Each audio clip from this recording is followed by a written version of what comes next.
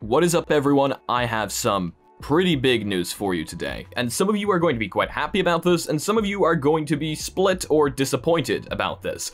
Either way, it's quite interesting, so let's jump straight into the news. So, as we have learned throughout the past few months, internet electronics shops like leaking things before they're supposed to be released. And yesterday, while we were live streaming, was no different. Yesterday, while we were doing our live stream, the new HTC Vive headsets got leaked, and they come as a disappointment to many. I've been reading through the Twitter comments, I've been reading through the Upload VR, the Road to VR comments, and to many people, it seems that HTC Vive is now dead.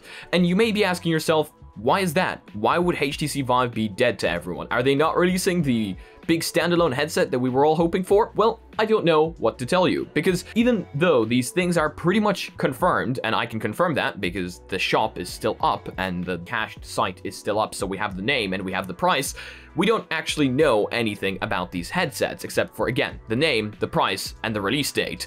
So let me tell you what we got here. We got the HTC Vive Focus 3, a business-oriented headset coming in at 1,474 euro, or $1,771. And we've got the Vive Pro 2, 2, coming in at 842 euro. So our price speculations were roughly correct, at least for one of them, because we said 8, 600 to 800 euro. So it's a little bit above that, but it is there. Here's where things get interesting. That Vive Focus 3 is a business-oriented headset, and that is supposedly their standalone variant. And while we have no specs and while we have no confirmations, again, this is all just leaks, even though it is, again, pretty much confirmed because the site is still up and it is there. We have no clue what to think about the Vive Pro 2 because on the discord yesterday at night we were having another podcast and it was very late so i don't actually remember what happened during that podcast but all i know is that i had like a massive mental thinking session where i was thinking out loud and i was saying to people if that vive pro 2 is not a standalone headset, which many of you think it's not because it is part of the Vive Pro line, meaning it's a PC VR headset supposedly with wires. Is there even room for it in our current VR market? What is it going to compete with? Because at that price point, 842 euro, it's not cheap. It's more of a prosumer headset. So what it's competing with here is the Index. What kind of specs would it need to have in order to compete with the Index? And is there even any point with competing with the Index? The Index is a great headset and the people that buy it are normally quite happy with it until something breaks. What people are saying here is HTC Vive is pretty much dead to them because of that Vive Pro 2. We all expected some form of an enterprise-grade headset, so that one is kind of out of the line. And I was asking you guys yesterday, do I even buy the Vive Pro 2? Because obviously they're not going to send it to me for review. I don't think HTC Vive even sends things for review. I mean, if they wanted to, yeah, I'm all in, but like, I don't think they're going to. So the real question here is, are you guys even interested in a Vive Pro 2 headset if the specs are comparable to an Index and it's not standalone? That was my huge, huge Question, do we go out and spend 842 euro on a headset that is not really competing with anything. But on the other hand, the Vive Pro 2 could be a standalone headset, and this is where things get interesting, because many of you on the Discord came out and said, we need more mid-range VR standalone headsets. We've got the Oculus Quest 2, which is a fantastic headset at an even better price. This thing's specs are very, very impressive, especially at the price they're selling it at. And then we've got the Index, the G2, and the Pimax. They're not standalone, of course, but they are the higher end headsets. And we have nothing really in the middle yet. And even though the price of this standalone headset is very, very comparable with the Index, or maybe even not competitive at all, if it is a standalone headset, things are going to start getting interesting because I will get it if it's a standalone headset. If the Vive Pro 2 is a standalone headset, I am going to get it, no doubt, to review it for you guys, to check it out myself, and see the specs. Now, if the specs are worse than the Quest 2, that's where things start getting a little bit interesting. Oh yeah, and from the article on Protocol, which were like the first people to come out with this, we also know that these headsets are going to be released at ViveCon and are going to start selling by the end of this month. So there you go, we have a release date as well. I don't know, for some reason I have doubts in my head as to whether the Vive Pro 2 is going to be a standalone headset. It is part of the Vive Pro lineup, so unless they changed something drastically, it doesn't seem it's going to be a standalone. And people are going to be very, very disappointed. But things don't add up for me here, and I spent a lot of time thinking about this, and the people on the podcast know that I, I was just thinking pretty much all night at it. We were told on the Next Dimension podcast that, and I keep going back to this, that the headset was going to be like the index of standalones, but price-wise it was going to be more like the index than the G2, but not quite, which would make sense. That 842 euro price tag is more like the index and less like the G2. However, that other headset, the Vive Focus 3, is just out of the price range, like completely. So what I'm thinking here is, I think that is our saving grace that this might be a standalone, but we also need to remember that these are just leaks and there might actually be even more headsets coming. Who knows, there might be a full-blown consumer standalone. I mean, come on, they've been joining Discord servers, so it kind of seems like they might be hiding something for us consumers. I don't know, there's not much point on dwelling on this any further because ViveCon is quite literally coming up in a few days. So we are still live streaming it, I'm still pretty hyped up for it. Let me know what you guys think about this one down below. I know people are going to be quite split about this. What do you think about it? If it's a standalone headset, what do you think about the price points? But yeah, I would love to hear your opinions down below. Let's move on to the next piece of news. So here's another one. I'm going to read you the title from Upload VR, and then we're going to talk about it a little bit. Fortnite developer Epic Games offered to make a new game for the launch of Sony's PS5 VR headset in a bid to enable crossplay, according to a recent report.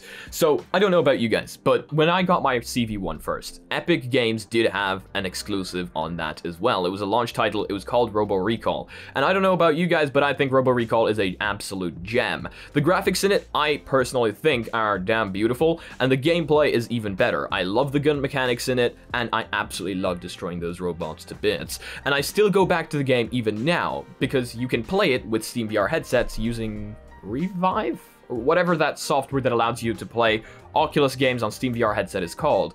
It's a very, very good game. So if Epic Games was to come out and release an exclusive for the PlayStation 5 VR headset, I expect no less than that from them. And once again, I loved that thing. And I'm sure I'm gonna have some people in the comment section agreeing with me on this one.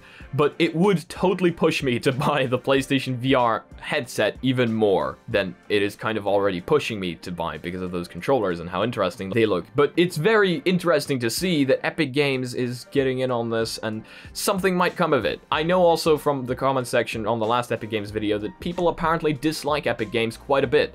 So there's gonna be some pretty split opinions on this one as well, I believe. But uh, yeah, let me know what you guys think down below. Talking about PlayStation, we also have a PlayStation and Discord partnership. It's about time, because that took them a while. I believe Xbox has had Discord integration for quite a little bit now, and we've had it on PC for as long as I can remember. So it's about time PlayStation get in on that bandwagon, and I cannot wait to see more companies getting in on that, because I know so many people that would love Discord on the Oculus Quest 2. Officially, of course, because I know we can sideload it, and I know it's going to turn on, but it sometimes it works, and sometimes it doesn't, and there's some bugs and glitches and things that... Blah, blah, blah. But if it was official, I know a lot of people would use it myself included. And Discord is one of the most used apps, especially by our community. I use it pretty much every day. It's like my most used app, actually. So I really need this thing on standalone headsets. Let me know what you guys think. Maybe if enough people want it, it'll happen. And the question is, how long until it happens? I think this one, again, is uh, more of a question of how long rather than will it happen, unless Facebook is against it for whatever reason. But yeah, that one is quite interesting there. The more platforms Discord is on, the better. Oh yeah, and here is one that I was talking about on the podcast channel yesterday that I don't think many of you saw coming. And I certainly didn't because as I said in the podcast yesterday, this is something that I never thought would happen. VR is getting advertised on billboards, and I think the last VR headset that was advertised on billboards was the Gear VR. So I never thought I would live up to the day where there is another headset being advertised on billboards. But that, it, it goes further. It really does, because the Oculus Quest 2 is now being advertised on billboards by Facebook, but it's not being advertised as just a VR headset, a gamer headset. It's being advertised as a fitness device. And as much as you can hate Facebook, all you want, seriously, you cannot deny the fact that what they're doing for virtual reality is amazing, and especially at the price point they're doing it at. Because of that price point, many people that have not tried VR ever are going to now try VR because of that price point. They're going to hop on and hopefully they're gonna love it. And now with Facebook sending out these billboards, spreading even more awareness and not only that, but spreading awareness that VR can actually be used for something that isn't just gaming, because many people have the perception in their mind that VR is just for gamers. VR isn't just for gamers. It can be used for productivity, fitness, gaming, uh, entertainment. I don't know, like, you know, virtual cinema kind of entertainment.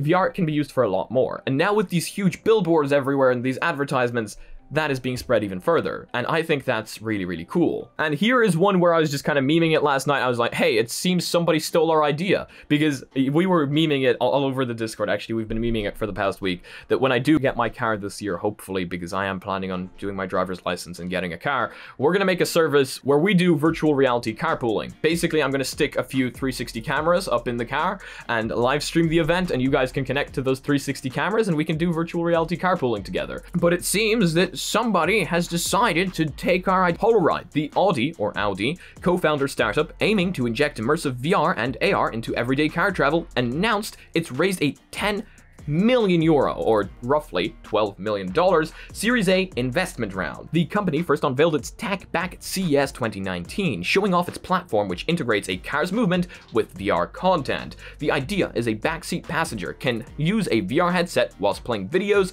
and games that are synced up with the vehicle's movement, something that aims to not only be fun, but also a comfortable experience since all the movement you're feeling in game is also happening in the physical world, hopefully mitigating motion sickness, hopefully hopefully, you know? That sounds pretty damn fun, and it sounds like an interesting idea right there.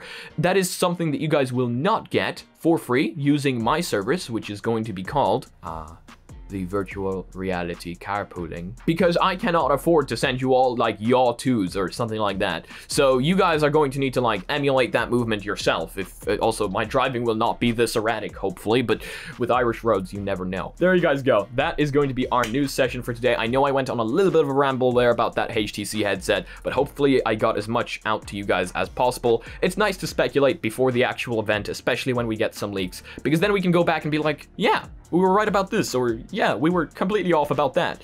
You know, it's quite interesting. But thank you all so much for joining me today. I hope you all have a fantastic day or night, wherever you are. And if you guys are not yet part of our community, make sure to join that Discord down below. Make sure to join our Reddit. Post your spicy memes on there. If you guys would like to support the channel any way, shape, or form, we've got sick merch down below that doesn't put a huge ad on body, and mugs that boost your FPS by 300%. And if you guys want to be notified about future content coming up on the channel, make sure to subscribe button with your forehead, dim my you in the next video. Peace.